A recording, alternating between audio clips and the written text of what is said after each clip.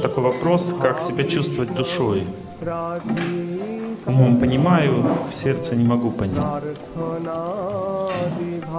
Это не просто чувствовать себя душой, мой хороший, не просто. Душа а, не чувствует себя в материальном мире. Она чувствует тело. Она себя не чувствует душа. Причина, почему она не чувствует себя душой, потому что здесь нет духовной деятельности в материальном мире. Нечего делать душе здесь. Потому что душа, она здесь видит сны. Какие сны? Мне хорошо, обо мне заботятся, я, меня любят, за мной ухаживают, я наслаждаюсь. Это то, как душа отдыхает. Это для нее сон. Душа спит в материальном мире. Она бездействует. Потому что вот это желание счастья само по себе, это какое состояние? Состояние расслабленности. Душа ждет расслабленности, покоя. Она хочет быть счастливой. И когда она страдает здесь в материальном мире, душа, она тоже спит в это время. Почему? Потому что я страдаю или я наслаждаюсь. Два состояния, которые душа испытывает в материальном мире. Очень сильная концентрация на себе означает отдых для души. Она здесь не, не, не действует. Деятельность для души начинается тогда, когда она видит пример э, бескорыстия очень сильный. Я сегодня думал о своем наставнике, молился, думал о том, как он любит своего духовного учителя, пытался это понять. И когда я начинал это чувствовать постепенно, я начинал чувствовать Бога. Вот когда я чувствовал, как мой духовный учитель любит своего духовного учителя. Это не земная любовь. Это не любовь человека к человеку. Это любовь к чистоте, к святости. То, что в человеке божественного. То есть фактически это любовь к Богу. И в это время, когда я начал чувствовать эту любовь, она соткана из страдания такого, разлуки. Человек очень тоскует по святости, очень разлучен с ней, он чувствует это страдание. И когда вот это страдание по святости начинает чувствоваться, в этот момент я сразу же начинаю чувствовать, что я нахожусь в центре сердца. Я маленькая крошечка, крошечка, которая вечную природу имеет, которая очень могущественная. Если она выполняет волю Бога, она обладает огромной силой, непобедимая крошечка такая, непобедимая искорка Бога такая, сильная очень. Только, но при этом, если я законцентрируюсь на себе, то я забываю опять. Я не могу себя увидеть. Я чувствую себя только в тот момент, когда я очень сильно сосредоточен на служении духовному учителю. То есть душа не может сама себя увидеть, если она на себе сосредоточена. Она про себя забывает сразу, расплывается все. Она себя видит, когда она занята духовной деятельностью. Причем эта деятельность по ту сторону жизни. Она не, не, недоступна здесь, в этом мире. Здесь все соткано из эгоизма. Но когда ты совсем забываешь про себя, и там страшно сначала душе становится, перед пробуждением немножко страшно, что это непонятная такая жизнь, забыть про себя, все делать для другого. Мы боимся про себя забывать, а вдруг что не так будет. Но когда ты все-таки в этой любви забылся, в этот момент ты проснулся, и ты начинаешь видеть, что все, что здесь происходит, это бессмыслица. Просто пустая трата времени. Бессмысленная деятельность.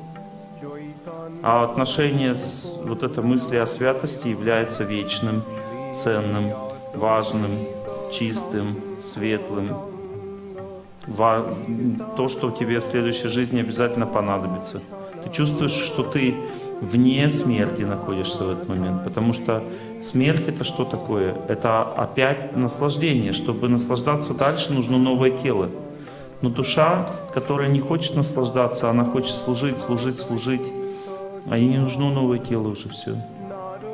Она вне смерти находится, не боится смерти совсем.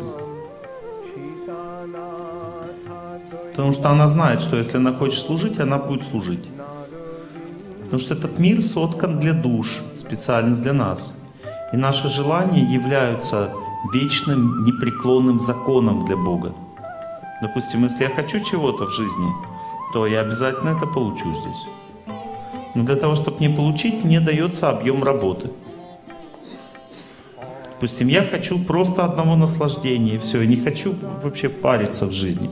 Хорошо, надо выпивать. Это объем работы. Для того, чтобы тебе получить только одно наслаждение, тебе надо сильно забыться. Чтобы сильно забыться, нужно ум поменять структуру ума. Нужно, чтобы ум был другой по структуре. Я как-то медитировал на глаза вот сильно пьяного человека. И у меня, я вошел в шок от этого мысли, то, что я увидел. Я взял, сфотографировал, вот так вот, как мне вчера глаза по-большому сфотографировали. Я сфотографировал очень сильно раз, ну, увеличенные глаза собаки просто.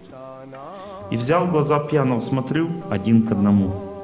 Энергия та же самая. Человек в сильном опьянении и собака. Животное. Вот что, кто такое животное? Это человек в состоянии сильного опьянения. Когда человек пьет, он просто не хочет жить в человеческой форме жизни. Ему нужна животная форма. И он во время, когда выпивает, он меняет структуру тонкого тела своего. Он приспосабливает свое тонкое тело к неразумному существованию, потому что разумное существование — это боль. Разум пробуждает душу постоянно. Когда душа просыпается чуть-чуть, она начинает испытывать боль, потому что в духовном мире там все соткано из того, что нам кажется болезненным, больным. В духовном мире постоянно одна совесть, там постоянно все служат другим, они постоянно в беспокойстве от других находятся. И это внутри приносит сильное счастье.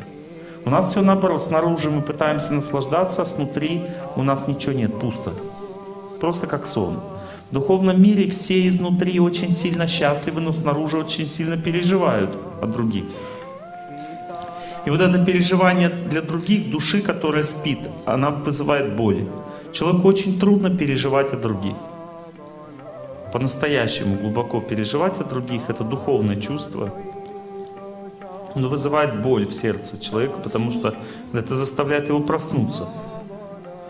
Поэтому почувствовать себя душой можно постепенно. Если человек учится служить святости, чистоте святости, это уже перевернутое сознание, другое восприятие по-другому мира. Мир у святого человека по-другому воспринимает, чем обычного человека. И поэтому человеку, чтобы почувствовать себя душой вечным, нужно постепенно перевернуть свое сознание. Это метод духовной жизни. Метод ухода вовнутрь. Часто люди удивляются, ну как можно не думать совсем о своем проживании и пропитании?